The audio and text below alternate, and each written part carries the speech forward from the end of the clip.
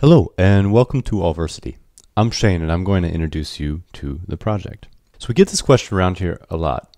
What is Allversity? Well, it's a global collaborative and it's an educational platform. And it's based around the belief that everybody in the world deserves free access to a great education, especially the world's poor. And so to do this, we're building a website and it's one part online academy and one part digital textbook. Let's take a look at the course navigator page.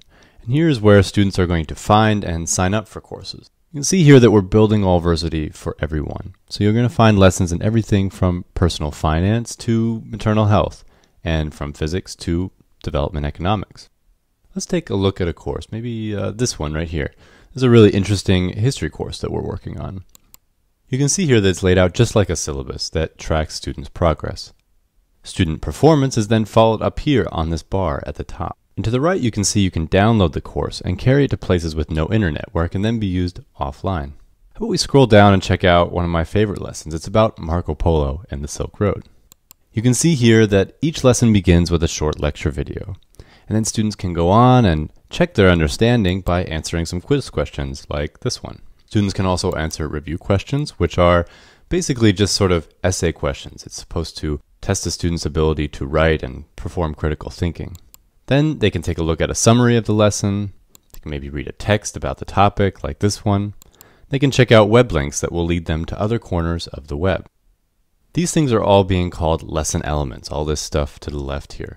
And they are designed to strengthen students' multiple intelligences and cater to different learning styles. They're also meant to give teachers a wide set of tools to build effective lessons.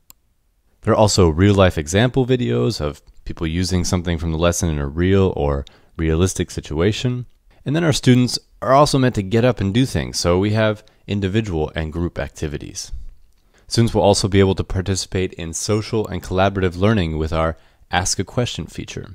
This allows students from everywhere to ask and answer each other's questions. All this is being assembled by teams from around the world, and the courses are being built using a streamlined version of backward design, which has been a leading theory in education for some time now.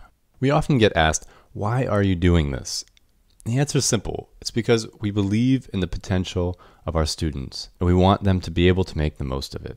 We have lived and we've traveled and we've studied in other corners of the world, and we have seen people in those places working really hard for a good life and a good education but not always being able to attain that. With the web, we know we can jump over a lot of the traditional barriers that have stopped people from having those things.